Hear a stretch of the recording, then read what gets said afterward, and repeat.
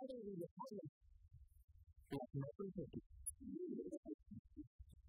And uh, okay, now we go to the another person because this video is really bringing up to the person down the country violence.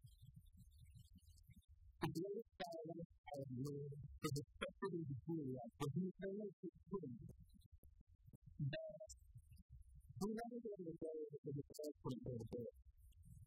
Really? that allows them to fly, to move on the day that allows them to spread. A day to live. Bring another level of attention and attention to yourself. Home to yourself.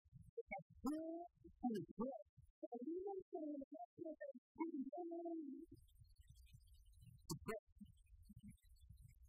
I remember listening to the crowd and I was resonating with the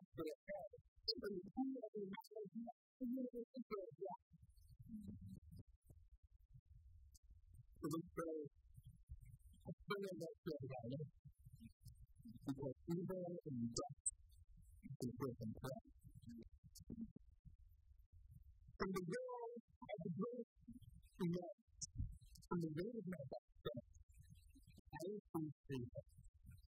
The violin of the day of the great grew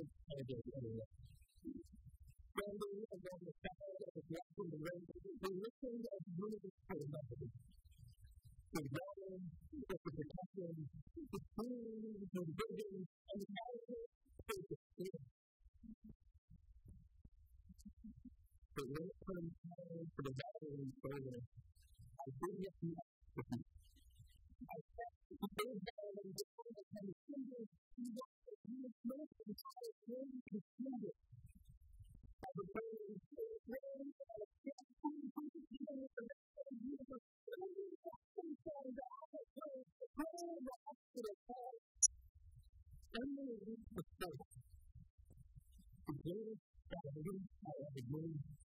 David got his own freedom. It is described as breaking David and burning.